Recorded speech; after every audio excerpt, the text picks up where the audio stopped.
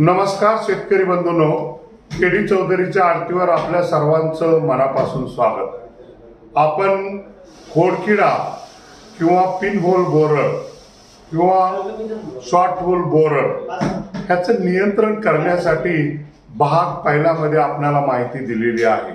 तो आपण भाग पहिला पण पाहून घ्या आणि दुसऱ्या भाग नंतर पहा. तर मला हा सांगायचं असं आहे खोडकिडा का तयार होतो? विशेषतः करून बागेला जे आपण पाणी देतो पाणी देताना जे लॅटरल आहेत लॅटरल आहेत ते खोडापासून साधारणपणे दीड दोन फुटावर दूर ठेवा. शेतकरी दोन लॅटरल ठेवतात एक उजव्या बाजूला असते एक डाव्या बाजूला असते. ते दोन्ही लॅटरल एक ते दीड फूट दूर पाहिजे. त्याचं कारण असं आहे त्या खोडावर जर पाणी पडलं तर तिथं बुरशी तयार होते. आणि बुरशी तयार झाल्यानंतर त्या बुरशीला खाण्यासाठी आळी तयार येते म्हणून पाणी देण्याची जी पद्धत आहे खोडाच्या जवळ आपण बिलकुल लॅटरल ठेवू नका. साधारणपणे एक ते दीड फूट दूर ठेवा. दुसरा महत्त्वाचा भाग पावसाळ्यामध्ये जास्त पाऊस झाल्यानंतर काही वेळेला पाणी खोडावर साचतं. किंवा खोडावर पाणी येतं त्यावेळेला सुद्धा बुरशी तयार होते साल ओली होते आणि तिथं मग आळी राहते आळी ती खाते आणि पिनवल बोर तयार होतो. असं होऊ नये म्हणून सुद्धा खोडाच्या बाजूनी तुम्ही थोडी माती लावली पाहिजे. पावसाळ्यात जरी जास्त पाऊस पडला तरी त्या खोडाला मात पाणी लागता कामा नये. ही काळजी घ्या. दुसरा महत्त्वाचा भाग दरवर्षी चाळणी करून चाळणी केल्यानंतर त्याच्यामध्ये ट्रायकोडर्मा पण वापरा. मी आपल्याला पहिल्या भागामध्ये थायमेट टाकायला सांगितले ते पण करा.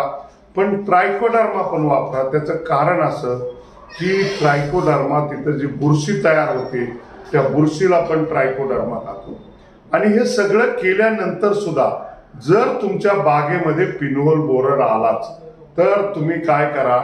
पिनवल बोररचे जर होल तुमच्या डोळ्याने दिसत असतील तर सरळ इंजेक्शनची सिरीज घ्या. पाणी घ्या एक दहा लिटर. त्याच्यामध्ये डेसिस नोआन किंवा कोराजन थोडं चार मिली पाच मिली टाका एका लिटरला प्रमाण. आणि त्याचं इंजेक्शन करा. आणि चिखलानं ते बोल बंद करून घ्या. त्याच्यामध्ये जो भुंगा असतो तो भुंगा मरून जाईल. हा एक शेवटचा पर्याय आहे. दुसरी गोष्ट त्या खोडकिडा लागल्यानंतर ज्या वेळेला तुम्ही फवारा मारता काही वेळेला फांद्यावर सुद्धा ते खोडकिडा चढून होल मारतो.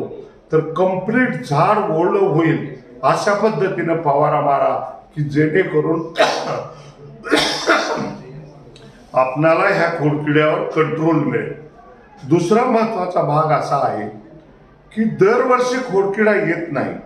जास्त पाऊस झाला पाणी खोडाला लागलं तरच खोडकिडा येतो. परंतु मला सर्व शेतकरी बंधूंना सांगायचं आहे तुम्ही खोडाला बोर्डो पेस्ट लावणे खोडाच्या जवळ थायमेट टाकणे ज्या वेळेला आळीचा फवारा मारता तो आळीचा फवारा रोग नसताना सुद्धा खोडकिडा नसताना सुद्धा काळजी घ्या. म्हणजे हा खोडकिडा येणार नाही. आपण आल्यानंतर उपाय करायला जातो तोपर्यंत बरीचशी झाडं मेलेली असतात काही फांद्या जळून गेलेल्या असतात. म्हणून हा जो उपाय आहे प्रिव्हेंटिव्ह म्हणजे रोग येण्यापूर्वीच हे कार्यक्रम घ्या. त्याच्यामुळे तुम्हाला फायदा होईल. धन्यवाद.